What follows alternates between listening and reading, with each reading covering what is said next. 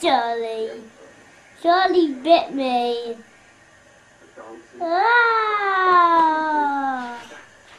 Mhm.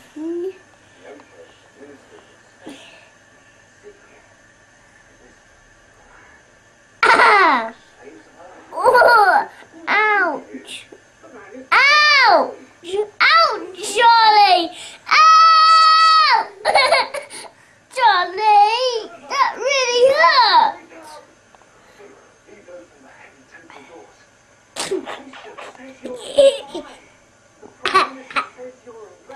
No, Charlie bit me.